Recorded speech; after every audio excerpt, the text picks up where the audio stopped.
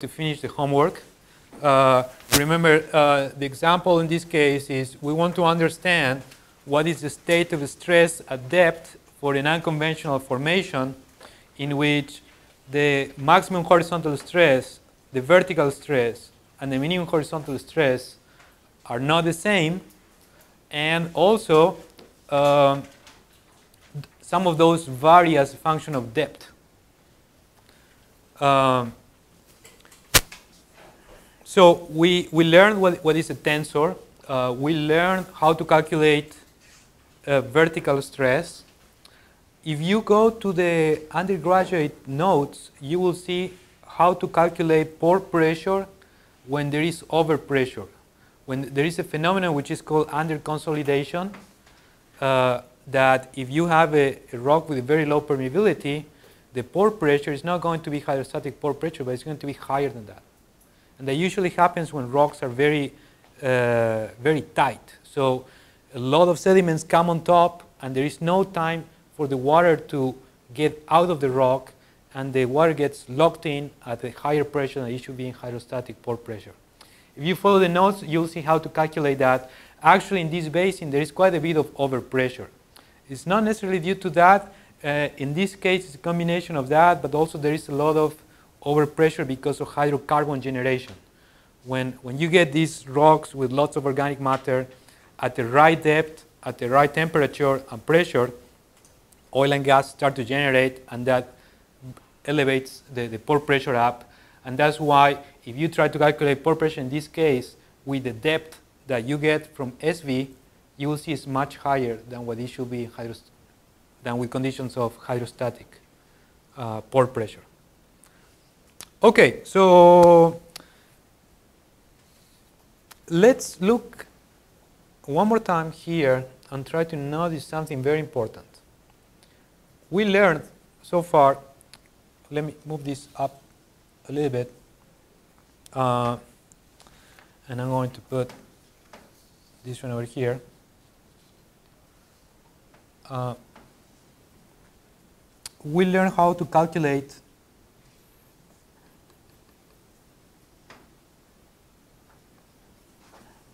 And I'm going to make now this plot a little more realistic. Not, not that much realistic, but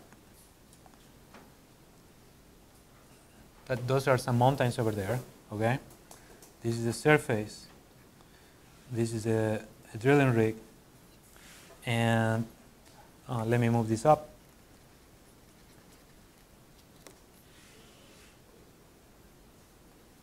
And I know that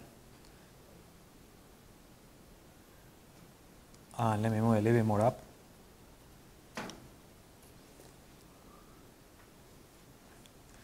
I know that this is part of, uh, in this case, we are in the, the Vaca Muerta Formation in South America. So this is going to be the South American plate. And somewhere over here, there's going to be, so Chile is somewhere over here, very narrow country and uh, very, very nice too. uh, especially if you go to Patagonia to the south, it's very beautiful. Uh, this is going to be the Atlantic, uh, not the Atlantic, the Pacific plate. Sorry for that. I, I always get those, you know, uh, confused. So this is the Pacific plate that is going underneath the South American plate. Uh, okay, so if we wanted to calculate the state of stress at this point, or determine that, here we'll have vertical stress, here we'll have in this direction, and I'm going to explain why, the maximum principal stress. And perpendicular to the plane, we're going to have the minimum principal stress.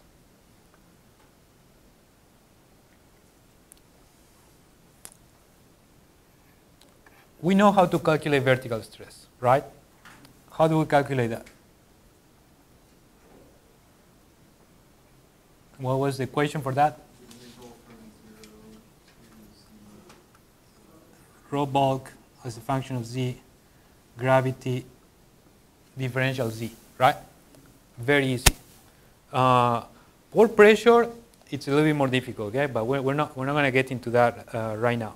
Hydrostatic pore pressure, but uh, sometimes, and many times, that's not the actual pore pressure. The question now is, what are those horizontal stresses? How do we calculate those? Uh, what, what is the value of those? Um, can we measure those values? And, uh, and the answer to that is that, that we don't know. We don't know what those are. And actually, that, this determining this value is a big unknown in geomechanics. Uh, there, there are several ways of measuring or trying to at least narrow down the range in which you think those are, or th those actually are in the subsurface, but uh, actually those are quite difficult measurements. Um, I, am going to just tell you a little bit about that, or how to determine those. But I recommend that, that you go through my notes or uh, you read uh, Zoback's book about how to determine those in the field. You, you will find a lot more of information there. And, uh, and later when we cover uh, faulting and hydraulic fracturing, we'll, we'll see uh, more detail about uh, those two, okay? But for now, just, just as a brief overview, I can tell you that the value of SH min which is the minimum principal stress or the least principal stress, is usually determined through hydraulic fracturing. Uh, basically, uh, you, probably you, you, let me move this out of the way. You, you may already see that if you were to do a hydraulic fracture in this place, the minimum, absolute minimum pressure that you need to open that fracture is the minimum principal stress. Why? Because nature is lazy and always tries to do the least amount of work. So a fracture will open always perpendicular to the minimum principal stress, which in this case, actually, I'm assuming it is this one, but it may not be that one, right? Uh, we'll, we'll go into, in a minute into that, but I'm assuming that this one is the minimum principal stress, then it will open like that. When your hydraulic fracture starts to open at that pressure, that's going to be related to the minimum principal stress. So if you read those tests of hydraulic fracturing, uh, you could determine what is the minimum principal stress. And we're going to see that later on, how to do that. Uh, second, you could also determine a minimum principal stress if you know the direction and the orientation of faults. We're going to cover that uh, later on. And, uh, but if you have uh, rocks break when there is a lot of difference between the maximum principal stress, let's assume SV, and the minimum principal stress, which is, a, let's assume SH min. When there is a large difference between those two, that's when rocks break in shear. And a fault is not other thing but a rock or an entire geological formation uh, breaking in shear. And we're going to see that uh, later on as well. And a third way of determining SH min is with wellbore failure. When you drill a wellbore, uh, I don't remember if I made this schematic or not, but uh, let's make a schematic of a wellbore somewhere over here. If you look from the top,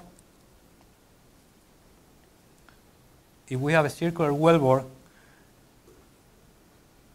if this is SH max coming in this direction, and this one is SH min, let me make it a little bit bigger. As these stresses, the, the maximum stresses try to go around the wellbore, uh, there's going to be a concentration of compressive stresses near this part of the wellbore, the wall of the wellbore, and that's going to create rock failure here. and also in conjugate directions here, which is going to create something which are called uh, wellbore breakouts. Ba basically, the rock at this position just going to break and it's going to fall in the, in the wellbore. And there's going to be like an empty cavity in that direction at that location. If you have enough pressure inside the wellbore, which is going to be provided by the mud pressure, and that's too high compared to a combination of these two stresses. In addition to that, at 90 degrees from those wellbore uh, breakouts, you're going to have tensile failure. So let me do it in another color, and let me zoom up so it is clear. Here we're going to have failure in shear with a lot of compression and here we're going to have failure intention. We're going to see also uh, a, a, lot more uh, about this in detail uh, later on, okay? But that's basically, these are just, uh, you know, the, the main methods. There, there are some others to determine what is the value and what is the orientation of SH min. That's another thing, right? Because here we want to know the value, but also we want to know the orientation, in which it is in this direction, in that one, in this one. We, we don't know that uh, a priori. And for SH max, you can determine those also either through faults or through wellbore failure. But actually, uh, hydraulic fraction is pretty good to determine this one.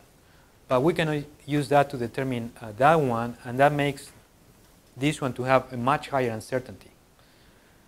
We're, go we're going to see that later on too, all right? Uh, yes? But if you know where SH min and where SV are, don't you just automatically know where SH max are? You know the orientation. You don't know the value. You don't know the value. You know the orientation very well, but you don't know the value. Um, okay, so let's see the, in this example in South America um, that I, I, have a schematic here. So these are the Andes. And uh, why did I draw SH max in this direction and not in this direction? And, and what about the subduction? It creates a lot of stress, right? So those two plates are coming, you know, converging into each other, and they are creating a lot of stress. So much stress that you know some of those rocks are are getting uh, up here and making mountains. So in this region, we have SH max, SH max, SH max, which is coming in this direction, and it is actually, if you look at this.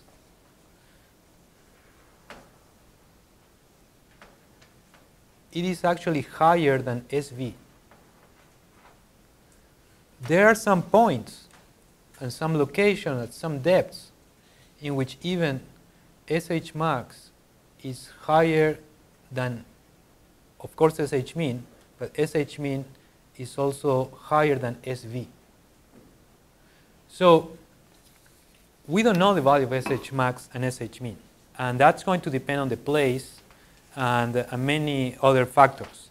What we do know is that uh, there, are, there are just three possible cases. So uh, if we have S1 as a maximum principal stress, S2 as intermediate, and S3 as the minimum principal stress, there's going to be a case in which SV is the maximum principal stress. Um, and we have SH max and SH min. This type of, uh, of combination, we're going to call it normal faulting. And this type of combination usually happens when you have a, a subsurface with very low tectonic strains, so they do not push too much in the horizontal direction, or even there may be a, a little bit of, uh, of expansion in the, in the lateral direction. And the, the name normal faulting is related to the type of shear faults or shear fractures that you're going to find in those uh, basins. And we're going to see in detail later on uh, why these are called like that. Uh, the second case is going to be a case in which the maximum principal stress is horizontal, the intermediate principal stress is vertical, and the minimum principal stress is horizontal too. And this is a case of strike slip faulting. Probably strike slip uh, doesn't tell much to you right now what that means, but we're going to see that later on too. It, means that the faults they move along the strike, which is a line parallel to the intersection between the fault and a horizontal plane. And the third case is going to be a case in which both horizontal stresses are higher than the maximum principal uh, stress. And this is a case which is called uh, reverse, or some other people call it thr- thrust faulting.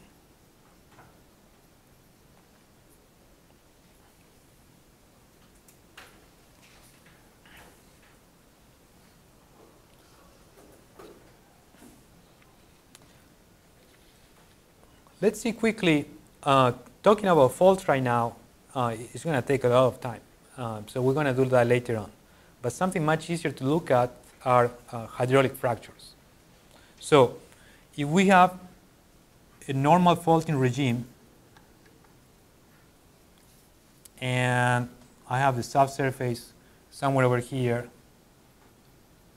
and I have a wellbore, and this one is the direction of SH min, and here I have SV, and SH max is going to be uh, perpendicular to the paper. Uh, what is going to be the orientation of a hydraulic fracture that I start at this point? How? Okay, but perpendic- perpendicular to SH min. That's the key, right? So a vector defines one plane.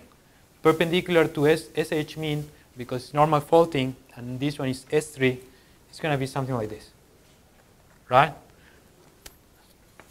So let me try to draw that coming out of the of the play of the paper. It's going to be something like that. Uh, remember that in this case, SH min is equal to S3. Uh, what about if we have strike slip faulting? Again, we have similar wellbore going into a formation in which I have here SV, SH min, and SH max. And this condition still holds. What is going to be the orientation of a, of a hydraulic fracture?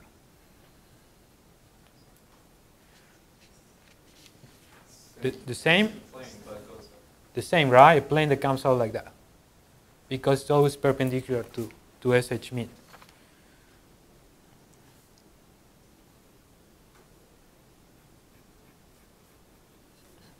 And the third case, in which we have reverse faulting, now I always forget to do that drilling rig over there.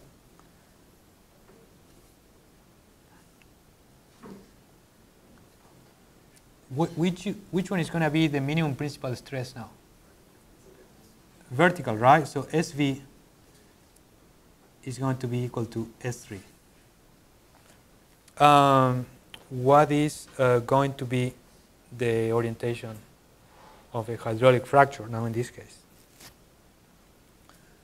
Let me complete the, the drawing here with SH min,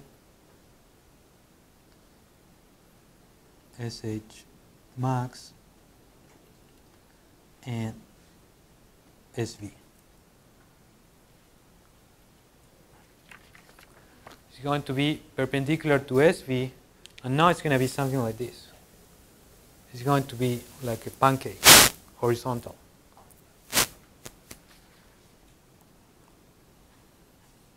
And in this last case, if you do something like that out of a horizontal wellbore, it will look like that.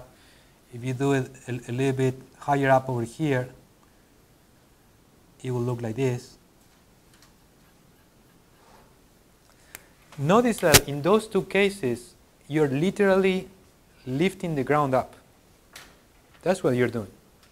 And, and, and now I hope it, becomes very clear that in order to lift the ground up, you need to overcome this stress, at least that stress with a pressure inside, inside the fracture. And uh, in, in these two cases, you don't need uh, uh, such a high pressure because the horizontal stress is less than the vertical stress. So you need a little bit less of uh, pressure in order to open that uh, fracture. But actually, it, it can get pretty close to that too. Okay, so for now, we're just going uh, to, to accept that, that this is the case.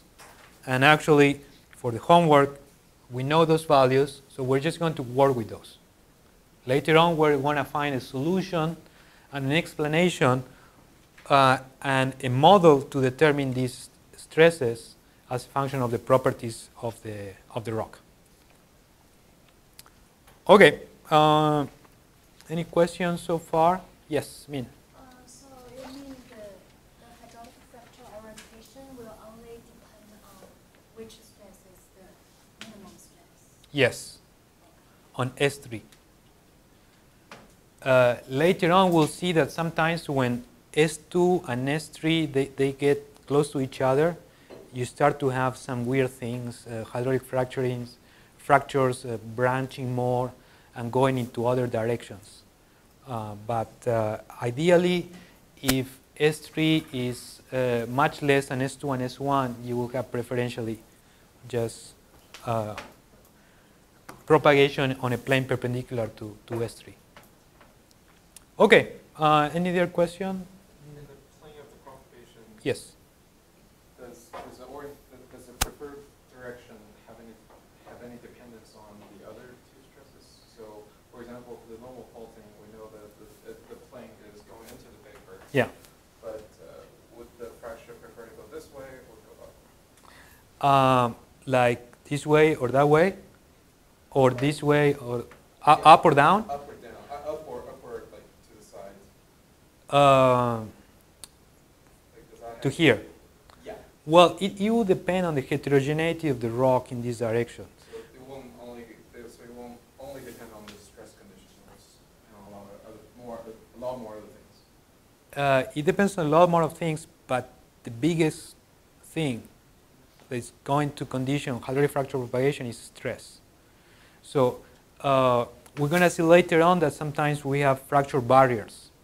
For example, if SH min were to uh, increase a lot here on the top and the bottom, if you have a very stiff cap rock, the hydraulic fracture is going to be contained in this direction. It's not going to propagate up or down. And, and the same is valid for uh, propagation in this direction, in that other direction. If you have like stiffer rock going uh, dipping into this direction, then probably it will tend to grow on the other direction. All right, okay, so uh, because we have three different values of stress, and, and we, we, need to develop some tools in order to uh, understand those, in order to plot those easily uh, to when, when those vary as a function of space or as a function of time. All right?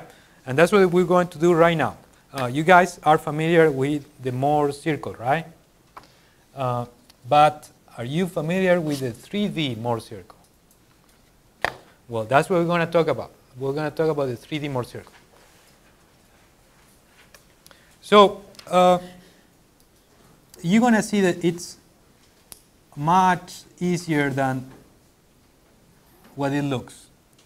Uh, let's say that we have a tensor and that we have already calculated the principal stresses. So we put those principal stresses here in the diagonal. Uh, and further uh, later, we just uh, want to plot the, the tensor of effective stresses because uh, other than for hydraulic fracturing, uh, effective stresses are, are more important than the total stresses. So we'll get sigma here, and that's going to be S minus pore pressure times the identity tensor, which is just a matrix of ones.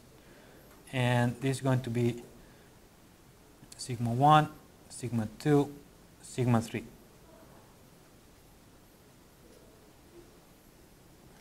All right. So what is a 3D Mohr circle?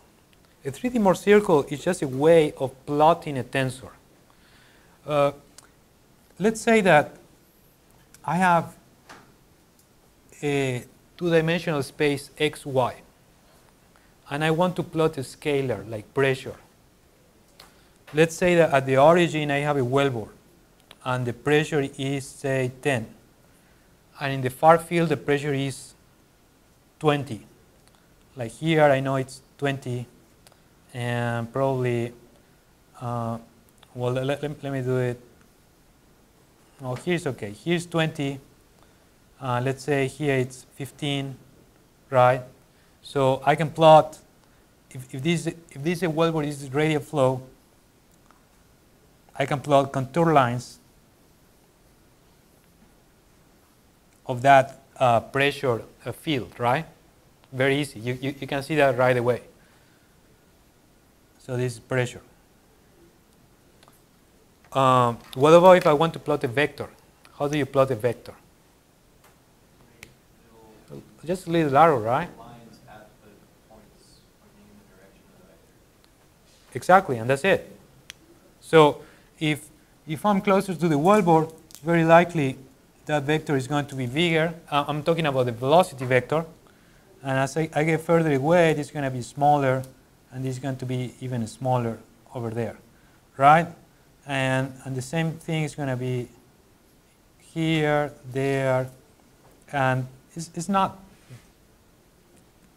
way too difficult to plot to plot a vector. How do you plot a tensor? Then now, now, now we're, we're in trouble, right? So in, in order to plot a tensor, uh, you, you, you have to choose. You have to choose, uh, probably you could plot scalar, you could plot sigma 1 only, or you could plot sigma 3 only, or you could plot the direction of the principal stress sigma 1 or the direction of the principal stress sigma 3. Those are going to be vectors, right? Those are easy to, to plot. But if you want to fully plot a tensor, uh, it, that's, that's kind of uh, uh, not as easy as plotting here uh, just a point or, or some contour lines and some vectors. That requires some other, uh, um, other tools and other ways of plotting that. And that's where the Mohr circle comes into the picture. Okay? A 3D Mohr circle is going to be a plot in which in the x-axis we plot the normal stress, usually the effective normal stress, and on the y-axis uh, we plot the shear stress. Uh, what do we put now in the 3D Mohr circle? In the 3D Mohr circle, uh, say that I have this element at an arbitrary orientation where I have sigma 1, sigma 2, and sigma 3. What is the value of shear stress on these faces of the principal stresses? Zero, right? So that's by definition. By definition, it's a principal stress because there are no shear stresses on those faces. And if there are no shear stress, that means that I can put all those values on the horizontal line. So here I'm going to have, let's say, sigma 3, sigma 2, and sigma 1. Those are the values of uh, the principal stresses with no shear stress. And now you, you, know the 2D Mohr circle, right? So the 2D Mohr circle is just a circle between principal stresses. So let me, uh, that's going to be uh, one more uh, of the Mohr circles. Then I have these other two. There's going to be another Mohr circle there. And between the combination of sigma 1 and sigma 3, I'm going to have another Mohr circle. Let me try to fix this Mohr circle like that. Okay, so now I, I hope it, it, is, it is clear that, that we have uh, three circles in there. So we, we already know that each of these points is a possible state of stress, right? So if I were to know uh, what is the normal stress and the shear stress on this face perpendicular to the direction of principal stress number one is that. Normal stress on this face is sigma 2 and shear stress is 0, so it's that point, and this other one is that point.